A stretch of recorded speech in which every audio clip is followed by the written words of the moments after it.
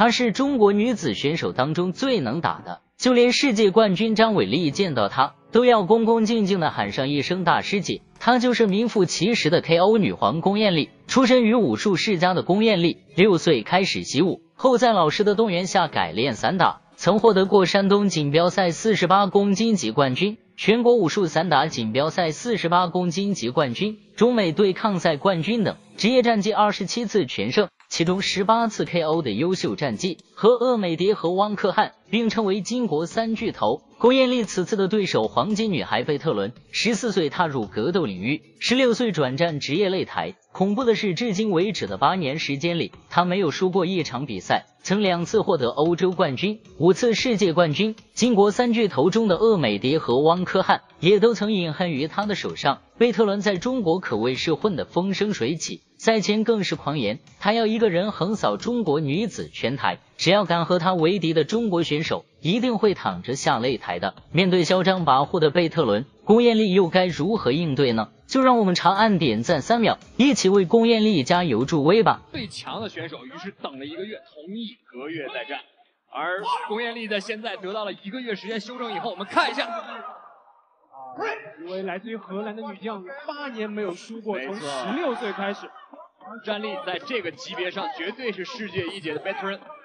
而且在自己的职业拳击三战全胜 MMA。比赛铃声敲响，贝特伦一上来就是猛攻猛打，这让散打出身的龚艳丽非常不适应。两人都是以 KO 闻名拳坛，这绝对是中外拳台巅峰之战。对于龚艳丽来说，这是她稳固自己散打一姐地位的重要一战；对于贝特伦来说，这是他称霸中国女子格斗的最终之战。力量我们明显可以看到，力量有一些把控啊。龚艳丽如果这样的话，消耗自己力量呢，第二、第三回合可能会比较危险。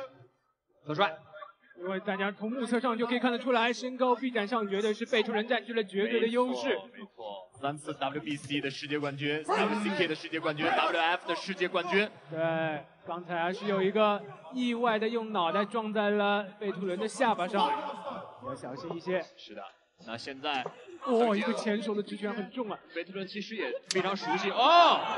这个时间差，好漂亮！前置后摆，顶膝哇，很重啊！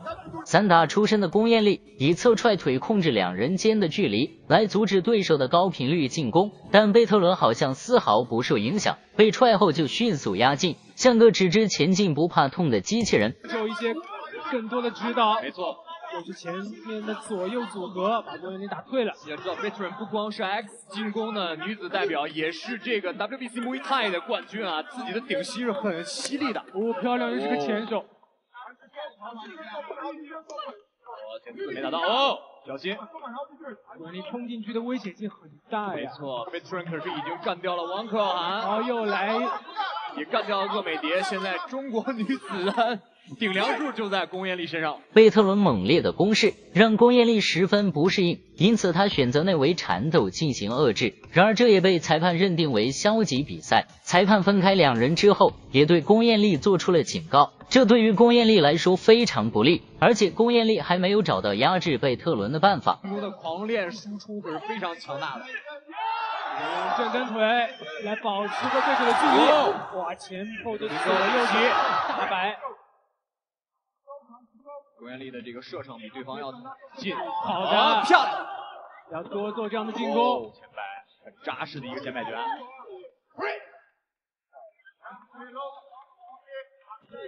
在中国，汪柯涵、鄂美蝶和龚艳丽都是非常强悍的女子选手。作为中国女子格斗扛把子的存在，郭艳丽面对八年未尝一败的贝特伦，场面上也不占据任何的优势，但她依旧表现出了成熟且老练的技术，慢慢应对这贝特伦的猛烈攻势。看来贝特伦对于这场比赛的结果也十分看重，不然不会一上来就是这么猛烈的进攻。做的回放啊，看龚艳丽一手的摇摆，然后抱。郭艳丽只要发现自己没有距离了以后，马上进行缠斗。这也是一个很好。缠斗的时候要小心对手的袭击，对手这个袭击非常的干净利落。是的，WBC Muay Thai 的三次冠军。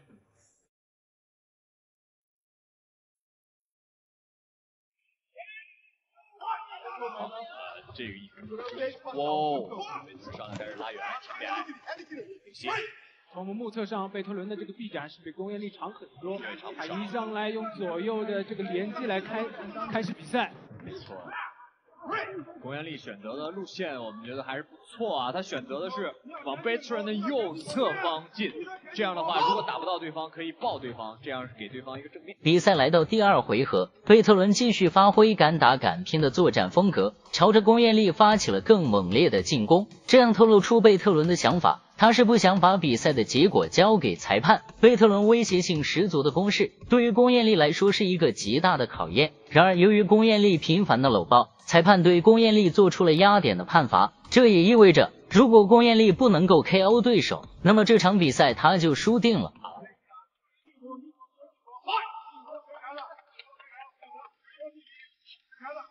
哦，击击漂亮。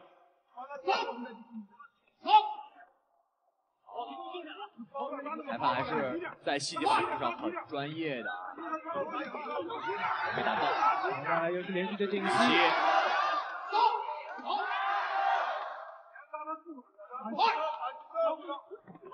哦，低位打斧打到了。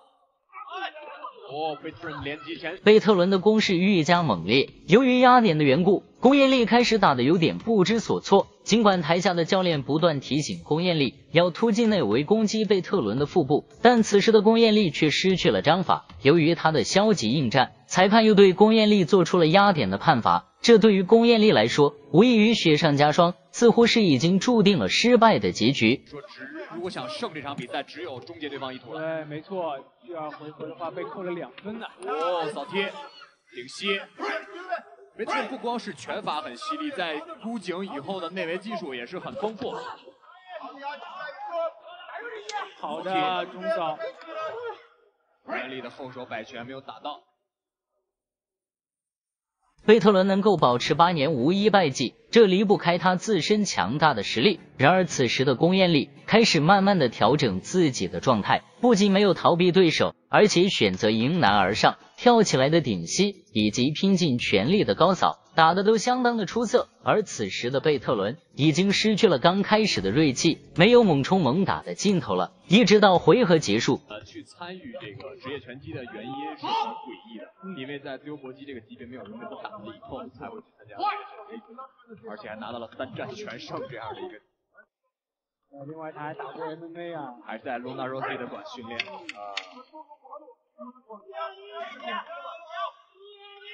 好的，漂亮，左右互抡，还是击。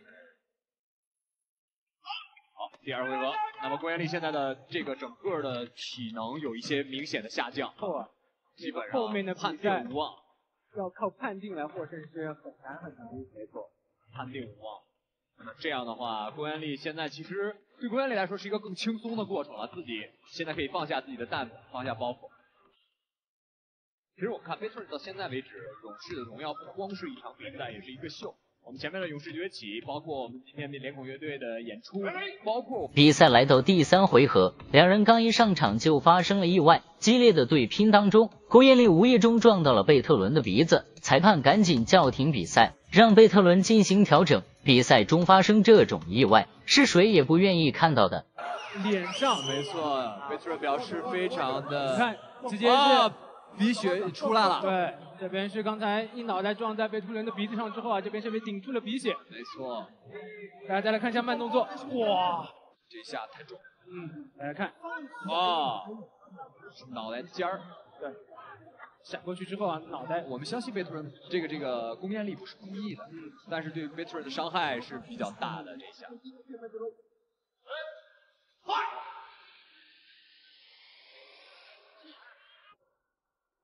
好踢。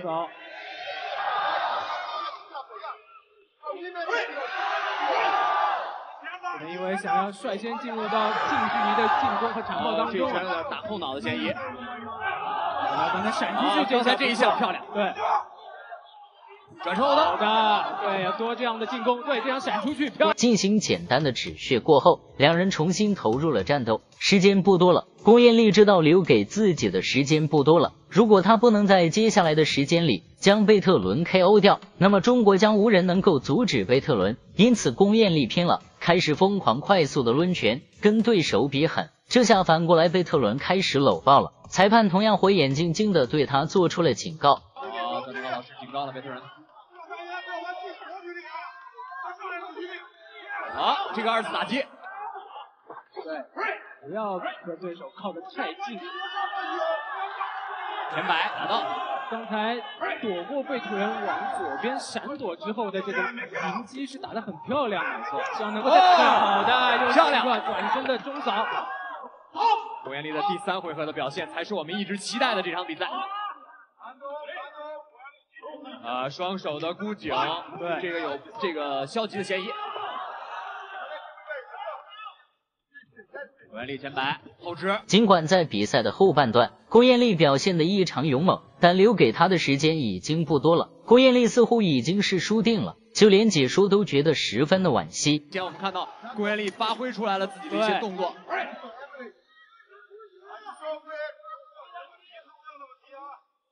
文力可以让对手先主动出拳之后进行躲闪的迎击，如果他率先发动进攻的话，距离是有些远。没错，贝特人的连续进攻，连续前后。龚彦丽这场比赛的战术还是用的不错的，一一旦失去自己擅长的重点，好的，漂亮，走快，好踢。很多外国选手对于中国的。侧踹腿都是防御能力很低的，因为不习惯。再来一个转身的。边腿，左踹，哦，龚彦丽的战术很简单，用步子和身法移进去，给对方中距离直接打住。哦，被特人后手。就在大家以为贝特伦将要将金国三巨头的最后一位选手龚艳丽也拿下的时候，伴随着第三回合的铃响，龚艳丽打出了神来一拳，直接命中贝特伦的下巴，将贝特伦击晕在了擂台上，全场顺势爆发出巨大的惊呼声。压哨的 KO，哇，太厉害了，龚彦丽，这是转身的超 KO 级大翻盘。你现在的表现，哦，贝特伦在这边已经是失去了意识。哇，天哪！大家再看，哦哇，这个转身的边拳，我们看这个转身的边拳，就是这一拳，我们看到哦龚彦丽这边赶紧把贝特伦的腿要往上抬一抬。达到了自己职业生涯的最高峰。龚艳丽靠着这压哨的绝密一拳，不仅保住了自己的全胜战绩，同样打破了贝特伦八年不败的恐怖战绩，站上了世界女子格斗金字塔的顶端。对于龚艳丽的胜利，有人说是运气使然，也有人说是实力的必然结果。大家有什么看法呢？欢迎在评论区留言。喜欢格斗的朋友给个三连再走呗！这绝对是张伟丽职业生涯中最残酷的一战。仅仅是在第一回合，张伟丽就惨被巴西女拳王打断鼻梁骨，鲜血止不住的往下流。赛后，王伟丽更是一度哽咽，当时的她已经被打到神志不清了。如果不是第一回合的铃声拯救了她，那么她难逃被 KO 的命运。这位让张伟丽吃了大亏的选手，就是来自巴西的女拳王玛利亚·桑托斯，被称为巴西黑寡妇。她不仅地面缠斗技术十分精湛，其站立打击技术更加恐怖。在其获胜的二十场比赛当中，有十五场是重拳 KO 对手获胜。仗着自己超乎寻常的身体素质，桑托斯总是用极其血腥暴力的方法，让他的对手非死即残。桑托斯挑战张伟丽之前，已经蝉联了五年巴西女子格斗冠军。这一次挑战张伟丽，桑托斯更是嚣张放话。Essa vitória aqui foi ele que me deu. E assim, isso aqui representa muito para mim, porque a luta é minha vida. É, a luta, eu posso dizer que me salvou, porque se não fosse, acho que se não fosse o Muay Thai, meu professor, acho que eu poderia estar em qualquer lugar agora usando droga, fazendo qualquer outra coisa. Mas não, tô aqui lutando 面对气焰嚣张的桑托斯，咱们的格斗女王张伟丽霸气迎战，就让我们长按点赞三秒，一起为格斗女王张伟丽加油助威吧!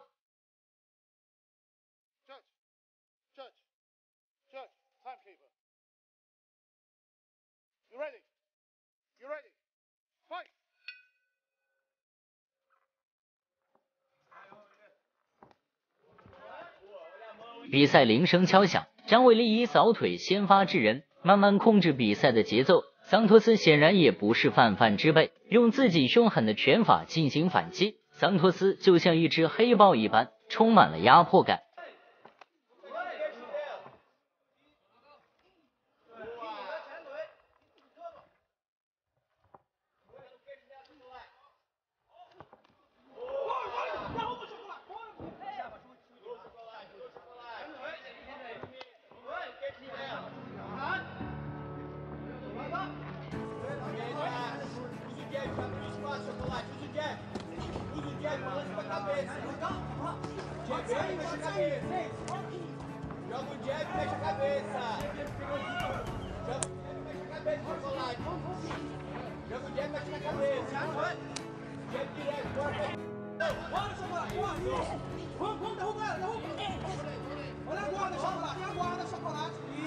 张伟丽用扫腿控制着比赛的节奏，慢慢寻找着桑托斯的破绽。桑托斯也不甘示弱，不断利用张伟丽出腿的空档，用更加凶狠的拳法强行压进。桑托斯一把抓住张伟丽的扫腿，后手重拳直接将张伟丽打倒。张伟丽的反应也非常的迅速，立马采用剪刀脚防御扭转局面。张伟丽正欲追击，反被桑托斯一脚直接蹬开。短短的交锋却精彩至极，场面可谓是跌宕起伏。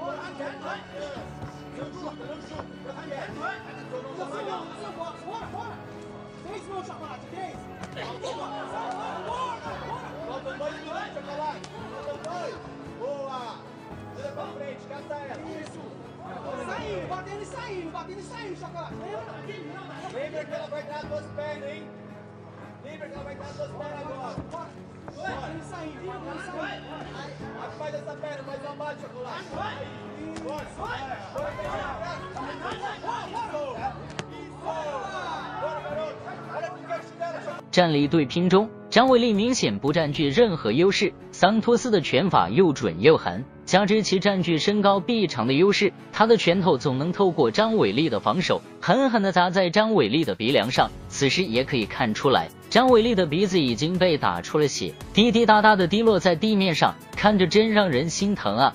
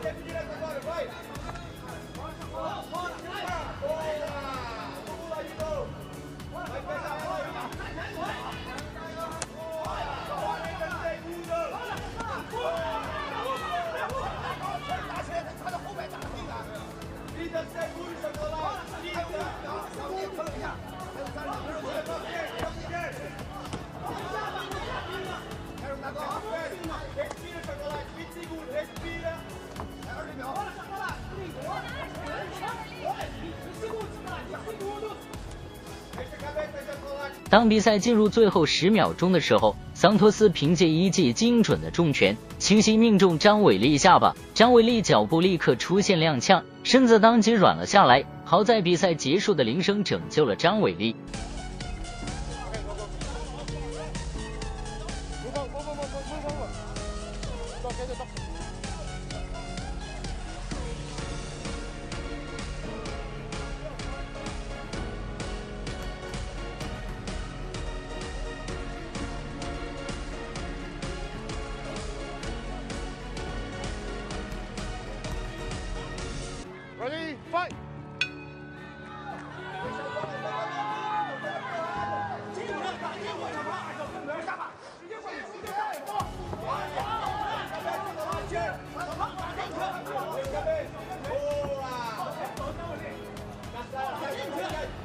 比赛来到第二回合，经过局间休息的调整，张伟丽逐渐恢复了意识，他开始慢慢调整自己的状态。怒气值拉满的张伟丽直接和桑托斯开展了拳法的对拼，并且不断压缩桑托斯的活动空间，试图突入内围进行阵地战。桑托斯则是立马用摆拳进行还击。经过一番拳脚互换后，张伟丽彻底将桑托斯打怕了。抓住机会突进内围，展开连续的组合拳攻势，一时之间打得桑托斯有些招架不住，只能被迫搂住张伟丽，限制张伟丽的拳法攻势。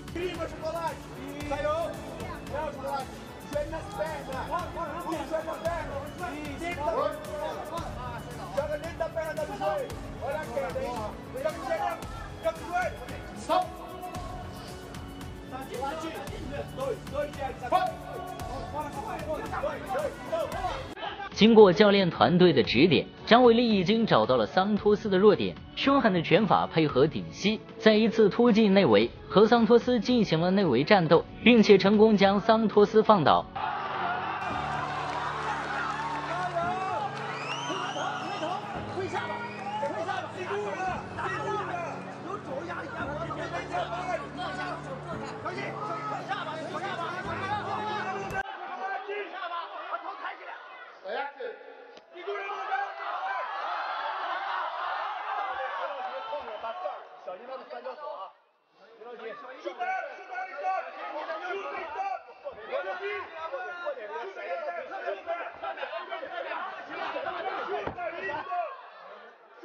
桑托斯的地面柔术技术十分娴熟，经过一番缠斗后，他不仅摆脱了张伟丽的控制，还拿到了断头台的把位。这一下，张伟丽的局势危险了。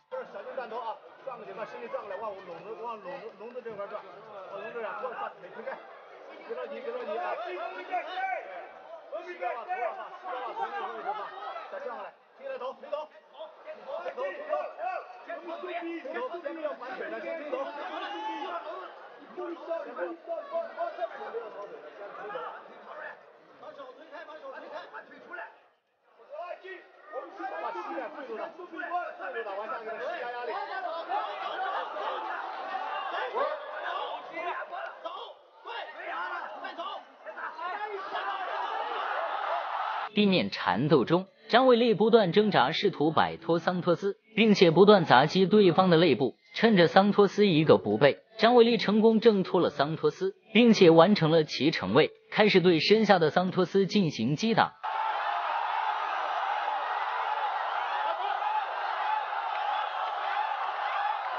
在张伟丽疯狂的进攻下，桑托斯彻底失去了抵抗的能力。裁判见状叫停了比赛。此时的桑托斯浑身都在抽搐。张伟丽以一场 TKO 大胜，完成了一场绝地逆袭。大家喜不喜欢张伟丽这位选手呢？欢迎在评论区留言。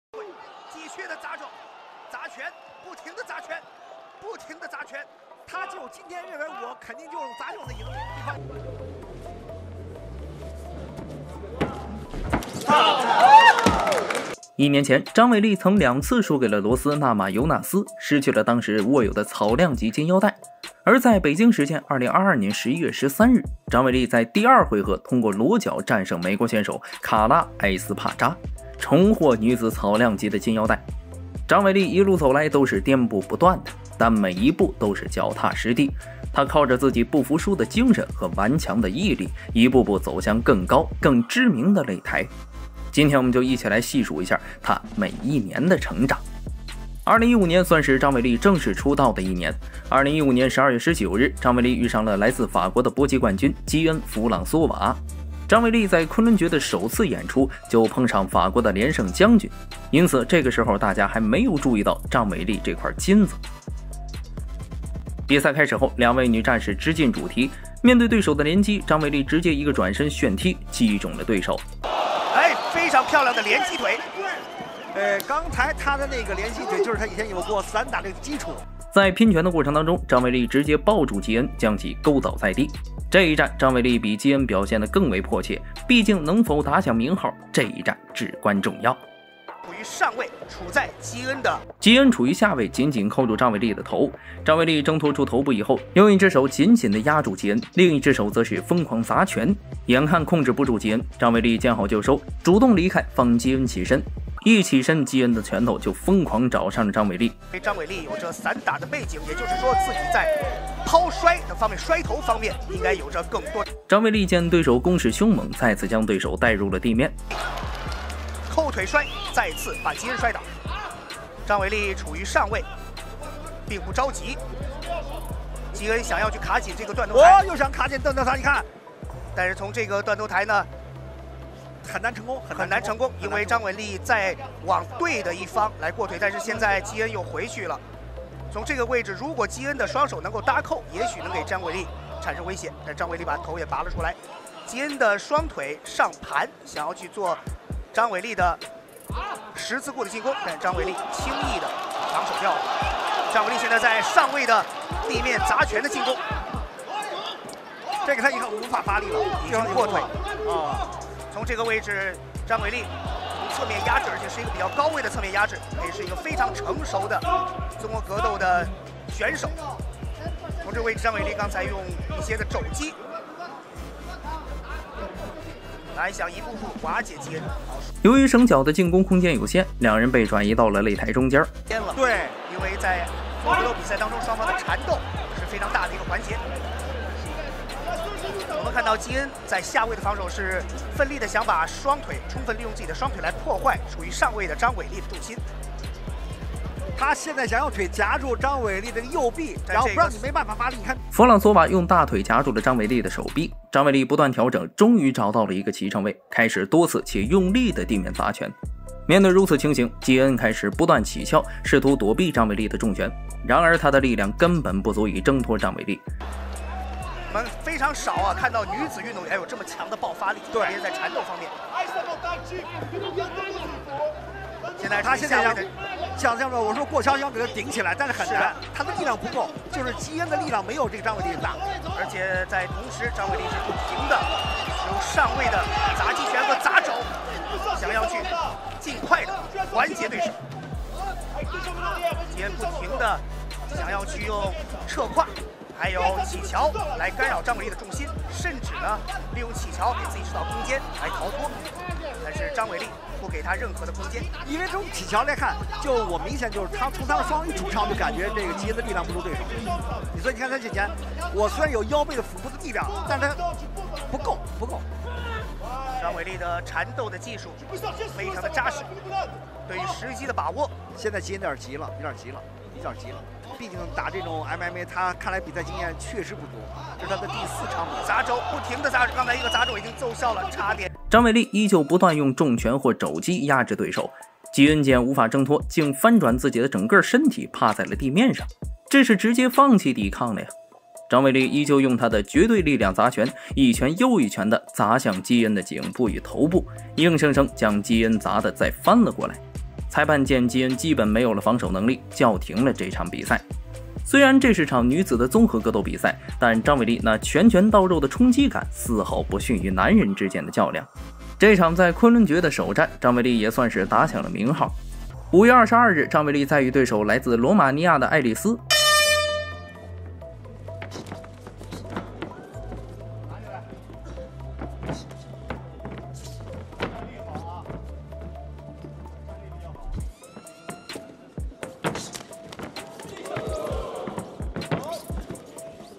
比赛一开始，两人就表现得十分凶悍，直接开战。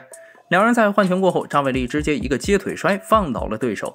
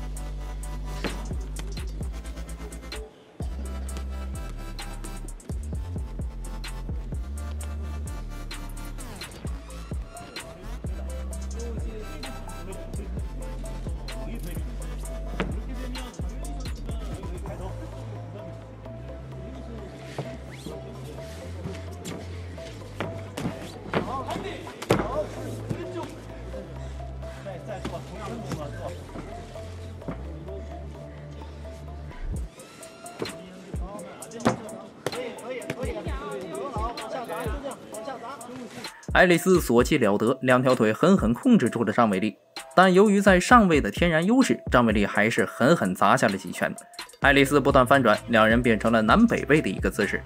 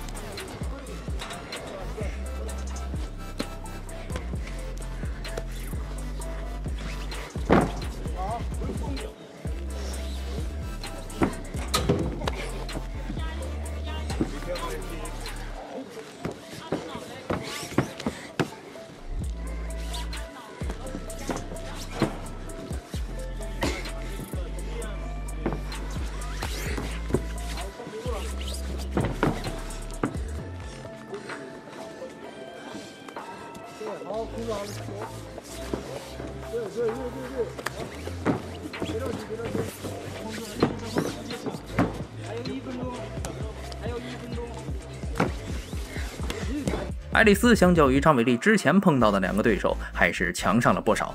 起码对于张伟丽在上位的压制，不是毫无办法，也有足够的力量能够进行一些转移。也正是因为对手越来越强，才让张伟丽的进步越来越快。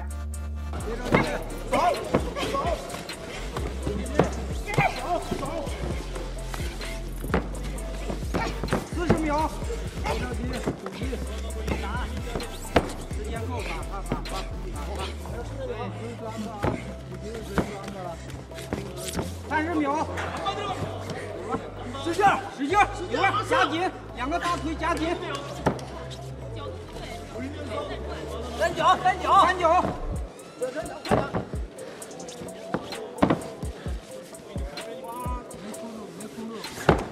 对，打打十五秒，十五秒啊，打好了继续，十秒，十秒。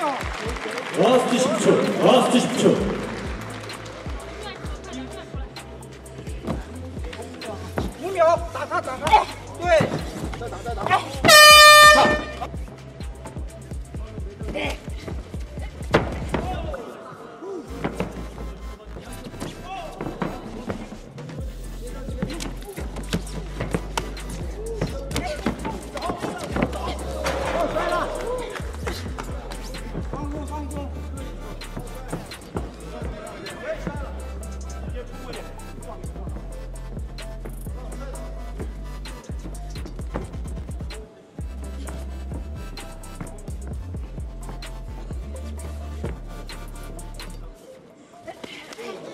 第二回合，两人也是先进行了拼拳，并且张伟丽还中了对手几个重拳。这个时期的张伟丽在拳法上还不是很灵活，因此张伟丽还是想要迅速抱摔对手进入地面。张伟丽拿到侧面的控制位，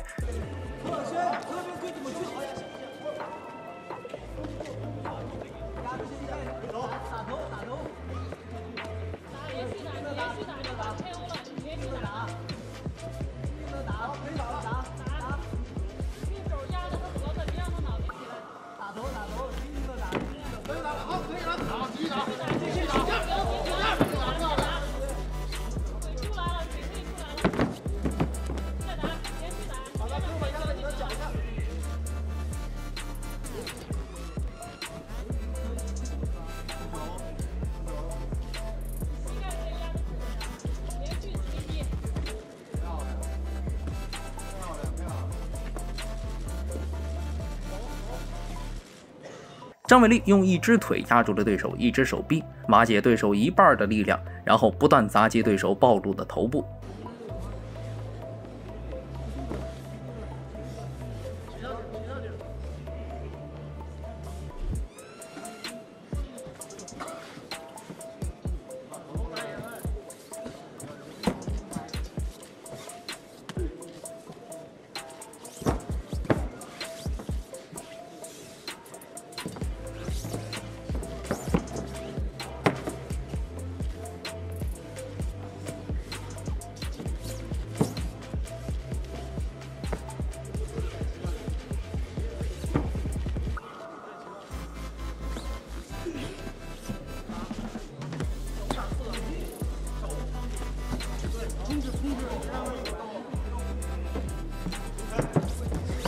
两人进行了很精彩的地面翻转。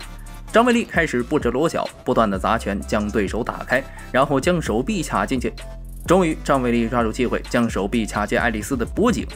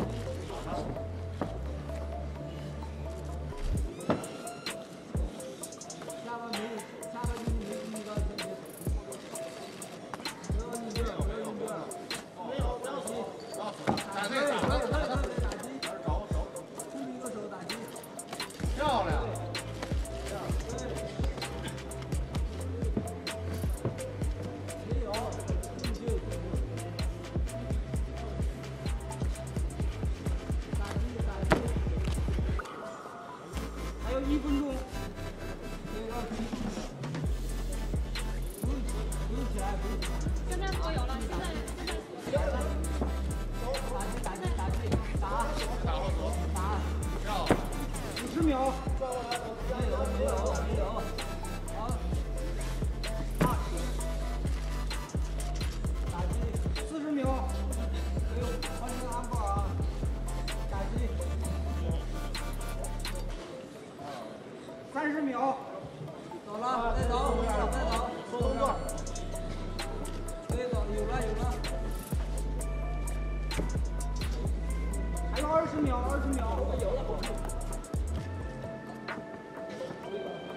爱丽丝挣扎了一会儿之后，终是撑不住，拍了地面投降。张伟丽在第二回合四分四十九秒裸脚战胜罗马尼亚的爱丽丝。张伟丽一开始的比赛都是靠地面压制获胜，但现在张伟丽在 UFC 的站立拼拳上也表现得十分优秀。那么张伟丽是何时开始精进站立拼拳的呢？锁定格斗界扛把子，下期继续为你盘点张伟丽的成长。我们下期见。